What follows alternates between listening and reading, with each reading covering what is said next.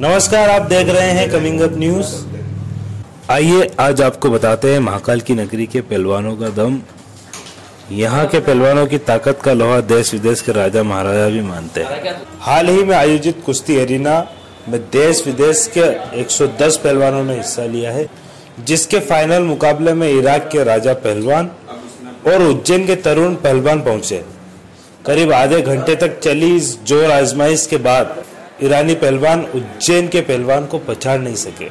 आखिर में मुकाबला बराबरी पे खत्म हुआ। कुश्ती के इस महामुकाबले में 50 से अधिक कुश्तियाँ खेली गई, जिसके अधिकांश मुकाबलों में उज्जैन के पहलवानों का दबदबा रहा। बहुत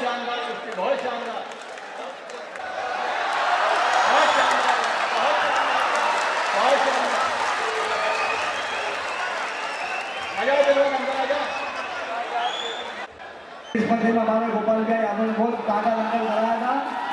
और हिंदुस्तान के नामी गिरामी पहलवान आपके सामने और आज भी हमने विधायक जी के जन्मदिन पे आपको कितना विशाल ताज़ा दंगल दिखाया। एक महीने की मेहनत थी।